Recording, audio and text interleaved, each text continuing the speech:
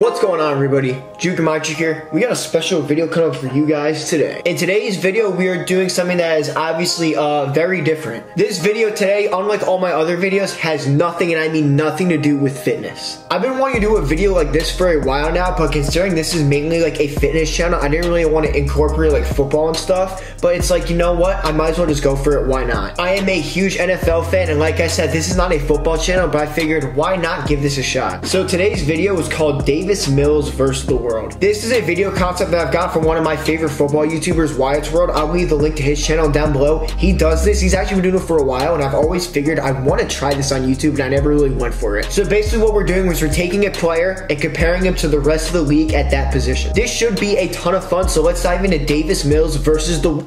Wait, hold up. I almost forgot something. I'll be right back.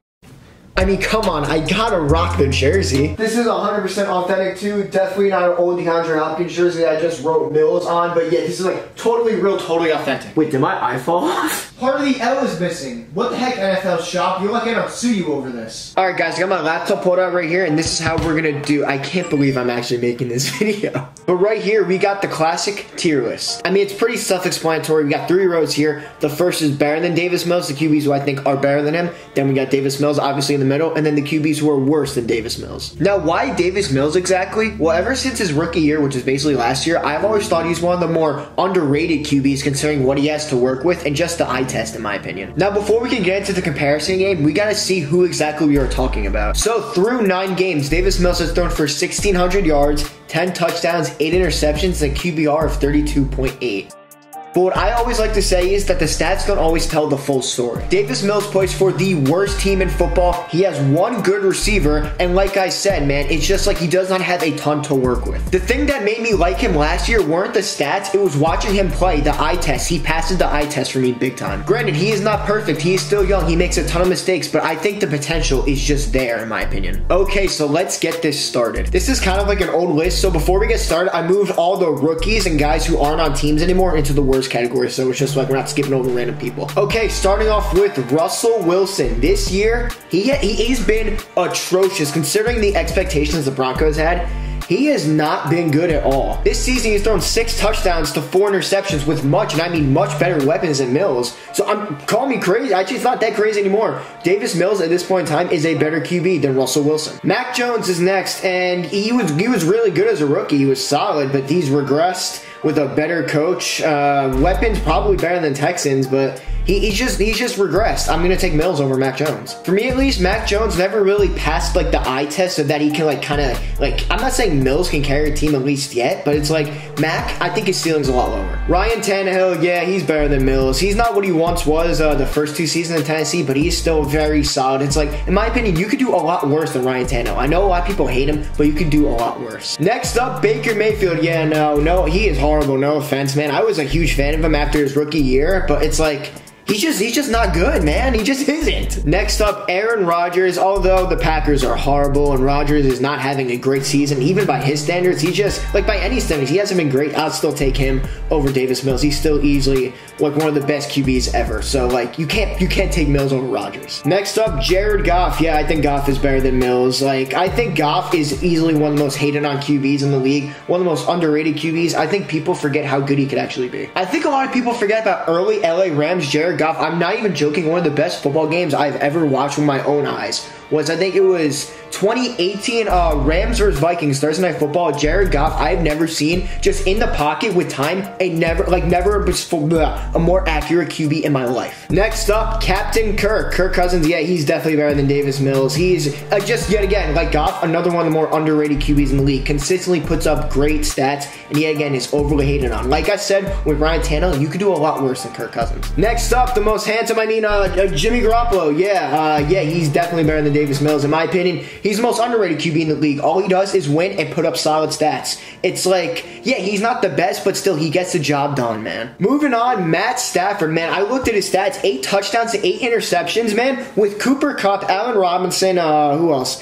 Van Jefferson, I mean, he just came back, but still, I mean, I'm sorry. This year he's worse than he's worse than Mills. I'm sorry. To me, there's just no excuse to add like a year after winning the Super Bowl, you got a guy on the worst team in the league throwing more touchdowns than you when you have arguably the best receiver in the league. No, I'm sorry. Next up to uh, yeah, he's better than Mills. He's proven a lot of people wrong this year. I mean, he's got a ton of weapons, but still, man, he's he's always just won, and this year he's proven why he was like so highly touted after. Next up, in my opinion, one of the most overrated QBs in the league, but this could just be uh, the Giants fan talking. Uh, Dak Prescott, yeah, he's better than Mills. He, he's not bad, but it's like I, he's just overrated. People talk about him like he's an elite QB, and I don't think he is. Moving on, we got Kenny Pickett. I included him as a rookie because he's played a lot this year, and uh, no, he's definitely not better than Mills. He's thrown what like eight or nine picks, and like I, I don't know, he's just he, has got weapons too, man. He's got Diontae uh, Pickens, Claypool was there, but yeah, man, I get it. He's a rookie and all, but I gotta take Mills over him pretty easily, honestly. Next up, we got Teddy Two Gloves. He's kind of played this year. He's obviously played before in the past, and uh, he's not better than Mills. We know what his ceiling is. We know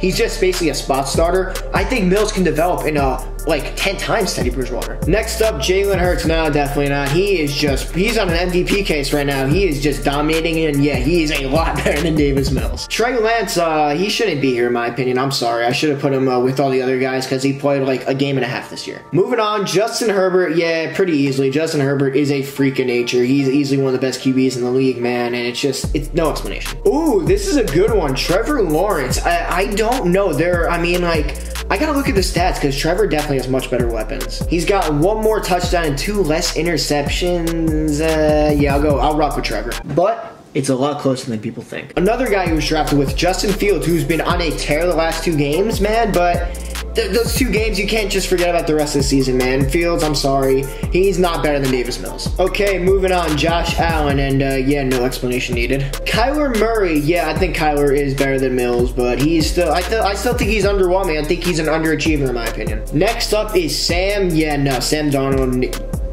just now. After Darnold, we got Matt Ryan. Yeah, no, Matt Ryan is done. He's cooked. He, he's, he's done. It's over. Next up is Joe Burrow, and yeah, it's not very close. I mean, like, it's Joe Burrow. Next up, we got Lamar Jackson. Yet again, another one that's not very close. Lamar Jackson is just unbelievable. Oh, here we go. Deshaun Watson. Uh.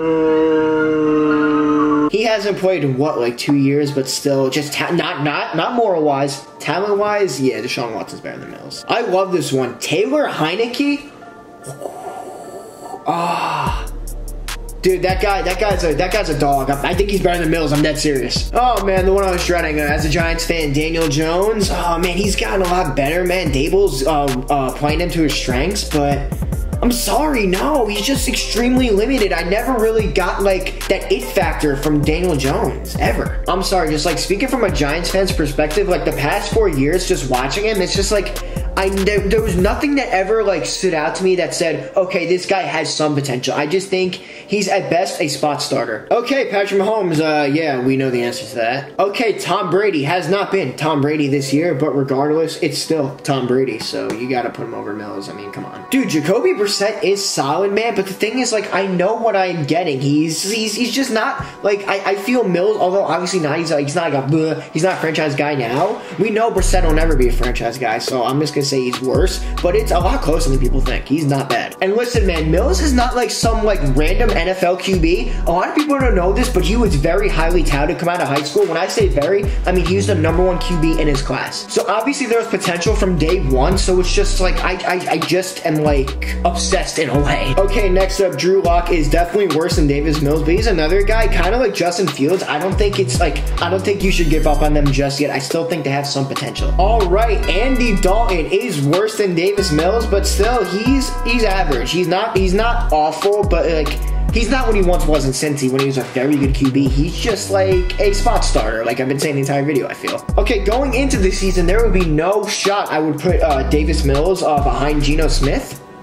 But dude, he's like, he's unbelievable this year. Geno Smith is definitely better than Davis Mills. Okay, Marcus Mariota, the definition of a spot starter. Yeah, he is. He's had a decent season, but yeah, we know what he is. And Davis Mills, I just, he, he's better and he has more potential. Okay, Mitch Trubisky, nah, I'm sorry. I had somewhat high hopes for him going into the season. I thought he learned behind Josh Allen. He had some solid receivers, but Nah, he's just okay at best. Okay, Derek Carr, he, he's not been great this year, I'll be honest. He has not been very good, but still, I'm going to take him over Davis Mills because, like Kirk Cousins, they're literally the exact same person. Okay, Zach Wilson, yeah, he is definitely not better than Davis Mills. He is not good. He's honestly been a bust. Okay, Mr. 30 for 30, Jameis Winston, nah, he is not better than Mills. I'm sorry. I thought he would be somewhat decent coming into the season, but no, he's just bad. And last but not least, Carson Wentz. Ooh, this one is tough.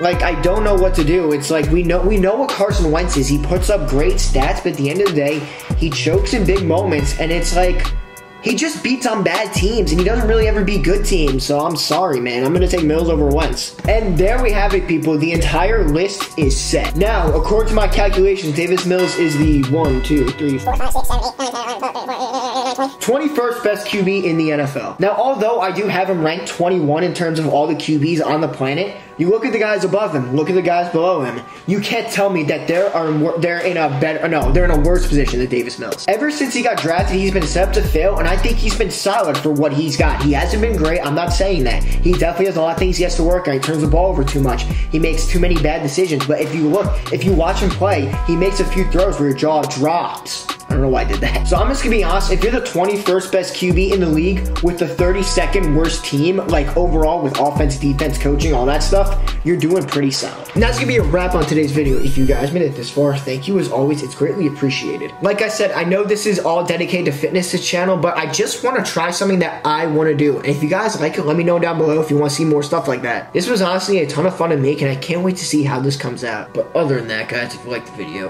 hit that like button, subscribe to my channel, and I'll catch you guys in the next one.